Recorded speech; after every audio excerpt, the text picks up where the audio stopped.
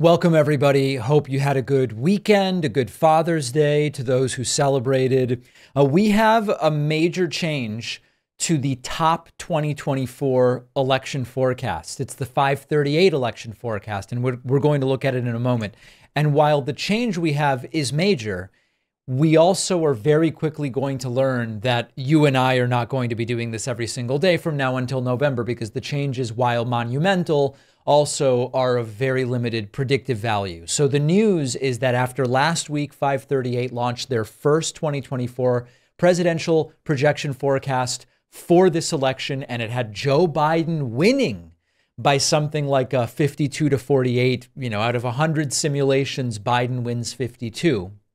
We now have a reversal in which, as of last night, it was Trump 51, Biden 49 and it is now Trump 50, Biden 49. Now, before we go further, you might say, hold on, that doesn't add up to 100. Does that mean that there might be some third party winner? Does a third party candidate have a shot at getting to 270 electoral votes? And the answer is, of course, no. There is a roughly 1 in 100 chance. It's actually, they, they say it's less than 1 in 100 that nobody gets to 270. There are a couple of scenarios you can look at uh, that are 269 to 269. It's not very likely. All four of those scenarios together represent less than 1% of the totality of, of possible outcomes. So, what are the takeaways here? The main takeaway, the primary takeaway is David, we're going to pat you on the back, buddy, and give you an attaboy. You've been saying, I'm now, t- I'm now doing third person. I've been saying for months, this is going to be very close, no matter what you think about uh, um, Latino voters in Florida, no matter what you think about anti Biden Democrats in Michigan, whereas we know there were famously massive dumps in 2020. Um, no matter what you think about any particular indicator, factor, poll, or, or hypothesis, this will almost certainly be an election decided by, I'll let you fill in the blank. I know you all know it.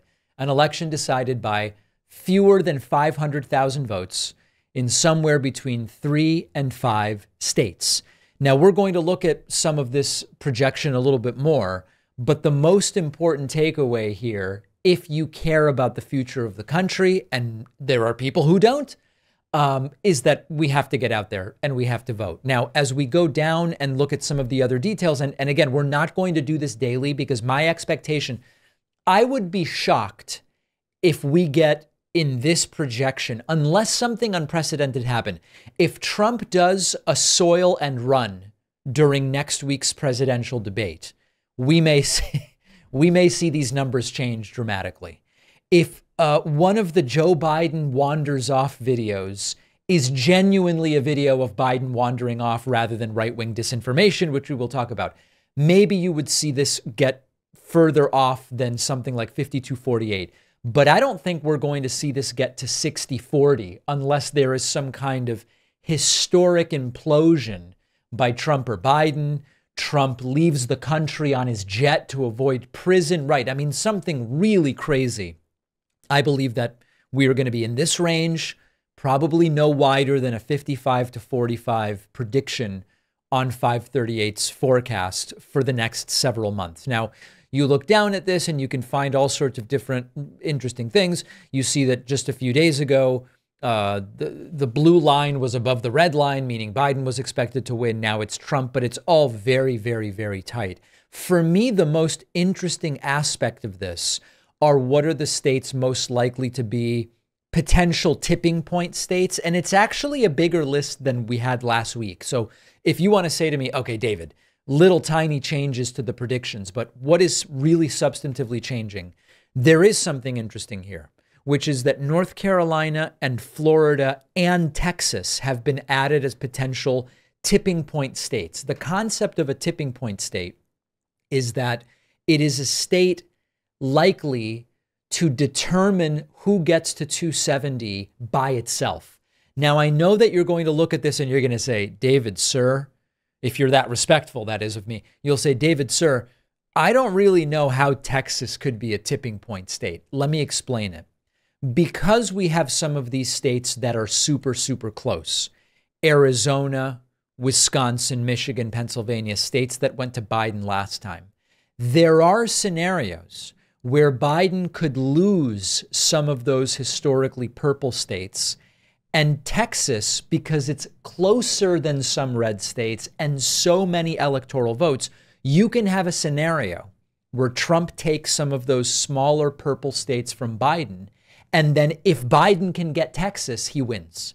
Now, I know that many of you who have been following American politics for a while will say, David, that's a nice little scenario you've drawn up.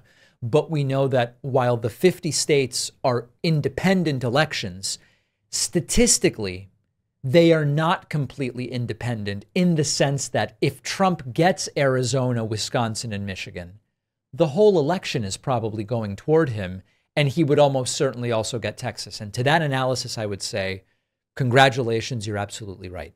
But this is a mathematical analysis. And now the states that are the likeliest single states, if it comes to one state to decide this election, are Arizona, Texas, Florida, Georgia, North Carolina, Pennsylvania, Michigan, and Wisconsin. Does this mean your vote doesn't matter if you live in Utah or California?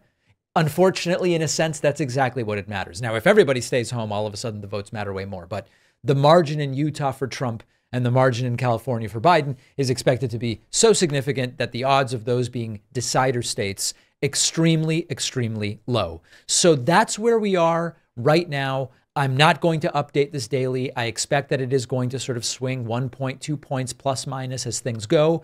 The big thing would be if something unprecedented happens, but if that happens, to give my example, if Trump does a soil and run during the debate and it's global headlines, it's going to be so obvious that that is an election changing event that we're not going to need to look at the 538 forecast to tell us that, although certainly it will reflect it. So that's that.